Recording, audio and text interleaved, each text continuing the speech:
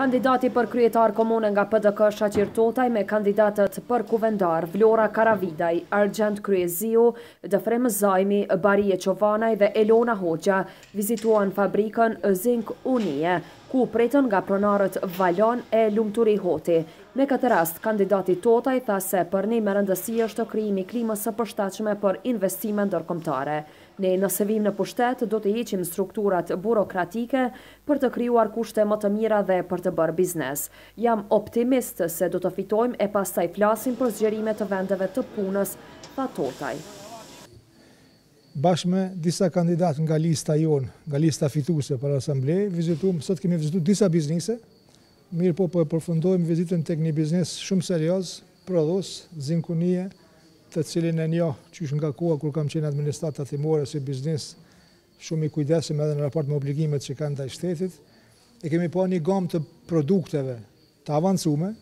e dimë që është një biznes që ka importu një teknologji të avancuar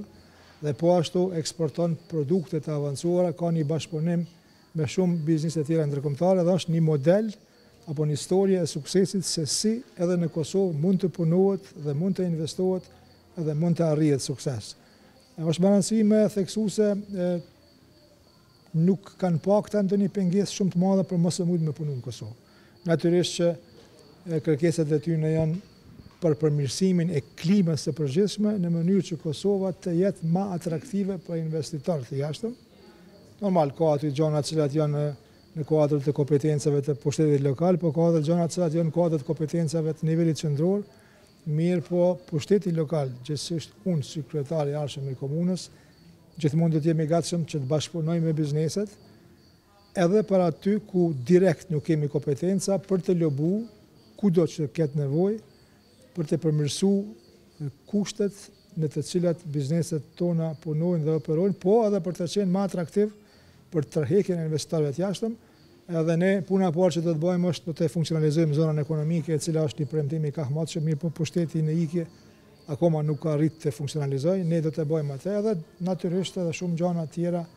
të cilat ne i kemi cek në programin tonë. Derisa Valon Hoti me këtë rast tregoi se janë mbi shtatëdhjetë punëtore që janë të punësuara. Ne me kualitet jemi të barabartë me holandezët, gjermanët e të tjerë. Qëllimi i përbashkët është që të arrijmë të kemi një të ardhme më të mirë, u tha në këtë takim.